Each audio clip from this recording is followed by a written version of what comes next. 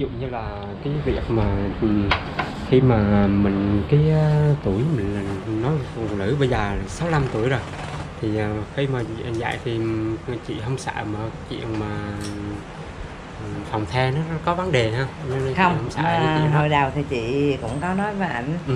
ảnh nói là gác cà vang khác quán bar khác Ừ. còn bây giờ đã là vợ anh rồi thì anh hạn chế Ừ. hạn chế chứng tỏ là anh có tâm lý anh chuẩn bị tâm lý rất là nhiều ha À. nhưng mà ừ, chị có lo lắng về cái chuyện không như là dạo như con gái mới về nhà chồng mà chứ hả?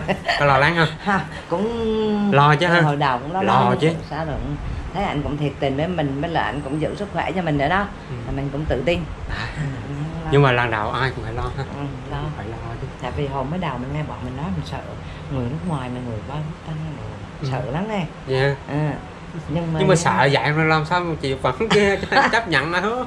Không hay.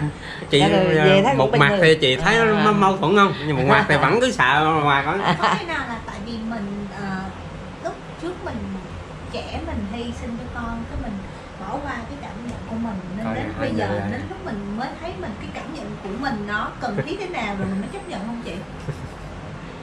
Thì hồi đầu thì nghe con nói thì cũng bất mãn mà sau này thấy thấy tự nhiên tình thương tự thấy thương ổng quá à.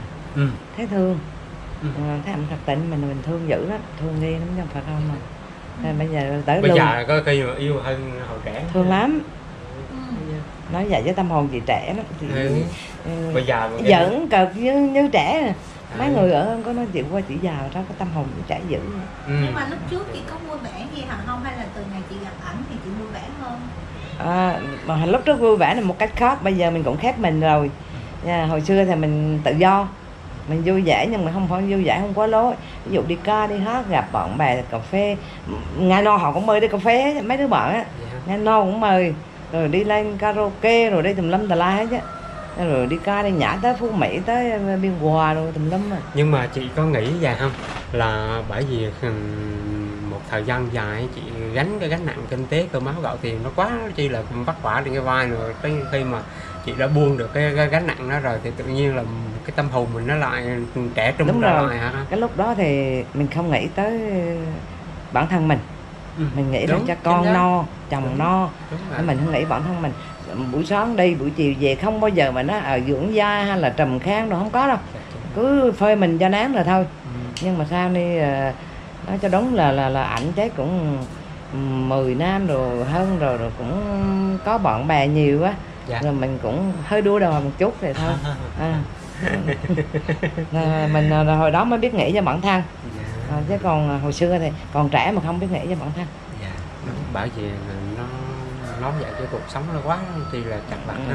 một mình vô đây không có ta quen biết rồi máy rồi. Miễn sao có gạo nấu được rồi chứ không không nghĩ tới cái gì nữa hết á. Thì không nghĩ cứ sáng đi 5 giờ sáng đi 5 giờ chiều về như vậy đó thôi làm riết. Làm mà còn không có ăn nữa chứ phải không mì không? Đúng. Hồi mà bao cách á trời ơi ăn không mì ăn không mì mà đứng dậy chóng mặt không thấy đường đi. Nhưng mà lúc đó ở đâu có sức mạnh mà chị có thể ngu một chút sống rồi Ồ, chứ không lẽ mình bỏ đó á. Ừ. không lẽ bỏ đó hả? Chứ lỡ rồi. Mà mà mà mà, mà hồi đó có cái biết kế hoạch rồi chi đâu. Ừ, đúng. hồi đó. không biết kế hoạch rồi chi hết. Phải mới đẻ ra cho nhiều. Nhưng mà cũng may cũng may là đẻ nhiều cho nên trời nhờ mấy đứa sau. Dạ. Rồi nhờ hai đứa sau. Thế nếu mà không lọt hai đứa sau ra thì chắc cũng hết nhờ. Mấy đứa trước thì không ở bất hiếu nhưng mà cái khổ lòng khó không khăn có quá đúng không? à, thì mình không có thể nhờ nó được. Đúng nhờ hai đứa sau cho chị nghỉ ngơi nhưng mà bây giờ là chị sẽ khỏe hơn hồi xưa nhiều cho nên chị không mệt đi em mới mệt đi.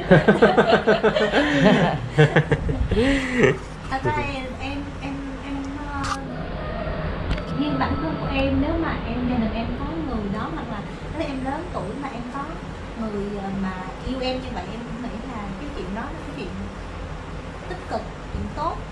Cho cái cái cái cái tình cảm của mình đến lúc mình lớn tuổi mình có thể suy nghĩ tích cực hơn. Nếu mà mình một mình thì mình sẽ suy nghĩ buồn mấy chị nghĩ ai ở trong cuộc mới biết? Đúng Ừ. chính xác người hòa cầu một cuộc là cứ nói này nói kia nói này nọ nhưng mình ở trong cuộc mà mình biết cái tâm sự của họ cái trái tim của họ Ừ. lòng của họ Ừ. thì mình thông cảm với nhau. Đúng mình đồng cảm với nhau mình mới yêu được. Đúng à, chứ còn ở ngoài áo vô là nó Nhất chụp chụp bà đó bảo à, hôm dục vọng mở Ừ. lấy trẻ rồi cũng nhiều cái bình luận vậy đó. Ừ. nhưng mà ừ, chị cũng thấy buồn. Nhưng mà thôi cuối cùng nó kệ mẹ mình sống cho mình. Đúng mình sống cho mình. Họ nói mình không có thì thôi kệ. Ừ. Ừ. rồi ừ, là thôi chị buông xuôi kệ. Ai nói chị kệ.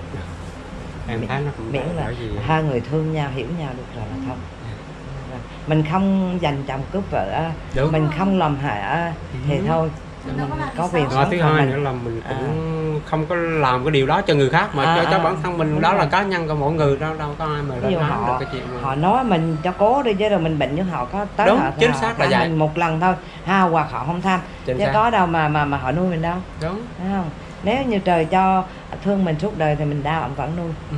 Đó. Cái, cái mát gì mà mình phải nghe lời họ dạ đúng đừng nghe những lời bề ngọt kệ mình sống mình đừng nghe dư luận. Mình nghe dư luận là mình chết. Rõ ràng là cái à, cái suy nghĩ của chị nó tích cực đó. Anh không phải những cái ngày đầu mà khi mình nhìn thấy cái những cái bình luận nó trái chiều thì mình thấy Ừ. nó nó sốc.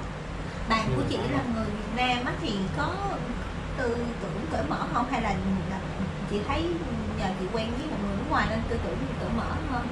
Cởi mở cởi mở nhưng mà ông ít cho tiếp xúc bạn mà ít cho đi chơi. Không cho đi.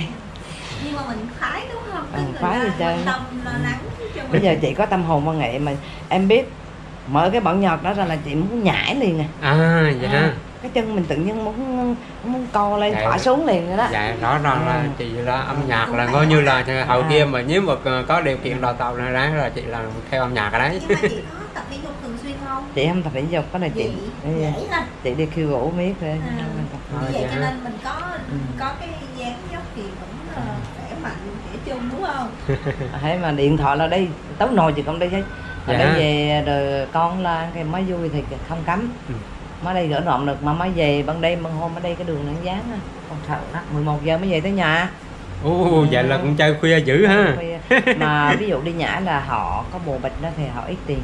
Dạ. Còn mình thì mình không có bồ thì mình phải thuê một thằng kéo để Ừ. dìu mình là từ 8 giờ đến 10 giờ là Nam Ram. À. Ừ. Từ Dạ 8 đó giờ đến 10 giờ Nam Ram. Bây giờ Dạ thì đó. sao? Giờ có người nhiều chưa? À, không cũng có kép chứ còn ờ, mình bây không giờ không không ổng không biết ổng ổng không còn ờ, dạ chứng tỏ là ông hiền ha Ừ. bia cà phê à, thuốc cà phê Thuốc. trong quán ờ, nhạc nhẹ là ờ, quán nhã đó là bốn ngàn một ly Ừ. mình như mình mình mình đi thì ít như năm trăm ngàn với bốn chục ngàn nữa là nó năm trăm rưỡi rồi gần Dạ. năm trăm rưỡi mà gặp bạn bè nữa thì thành cả triệu Ừ. gặp bạn bè thì mình phải tiền không lẽ mình đứng mình trả mình mình mình Dạ. nó, nó chào mình nó ngồi trong bàn mình không anh ra mình mình. Dạ đúng anh thử thôi. À, Phải nhưng mà cái cái nhảy vậy thì thường đi cái đó không? Như là Đấy. đi đây chị nói trời ơi dạ chơi chị nhã điệu nào chị- thì đây cũng biết của chị không? Làm gì mà dễ chị dáng con nhận điều kiện kinh tế cũng khá chứ bộ. Ừ, chị, chị cũng khá. Em không phục chị đó một mình chị mà chị nuôi con nuôi chồng vậy rồi chị làm nhà rồi bây giờ cũng thấy khá vậy. Ừ. dạ cảm thấy mình may mắn đó chị ha. Ừ, hai kìa nhưng mà có một cái vậy nè Ừ, ví dụ như trước trước khi mà chị mà gặp ảnh đó chị có có nghĩ là mình có người- bước thêm một bước nữa khi mà tuổi này không chị không nghĩ à chị không chị nghĩ không nghĩ đó đúng chị không chỉ kết bọn chơi thôi. Ừ. mà sao lại quyết liệt quá anh cương quyết quá đi. Rồi thấy cái tính cách này tội nghiệp. Ừ. mà thôi à, đó rồi có nghĩa là trước về kia- đây mới, mới, mới ảnh về đây mới bắt đầu có nghĩa là trước kia mọi người đều Ừ. không dạy cho nên là khi người ta coi cái video á thì người ta cũng cũng như cái lúc mà chị mà chưa chưa gặp ảnh nữa. Ừ. ha cái tí- chị cũng không có xác định như vậy. Nhưng mà khi gặp chị một muốn có chồng thì chị có chồng thôi chồng chị chết chị mới có bốn mấy tuổi cũng chị lấy Quá chồng trẻ. là quá tốt chứ mình không. Chị không thích lấy chồng chị sợ lắm. Sợ đàn ông là người thiệt thì ít mà người giả dối thì nhiều. Rồi đó là thêm khổ rồi nữa. Nên thôi chị không với là con mình vậy rồi con mày con tao nữa mất công lắm. Dạ. chị không thích. Nhưng mà bây giờ cái số nó kỳ không biết làm nữa. Thì đó.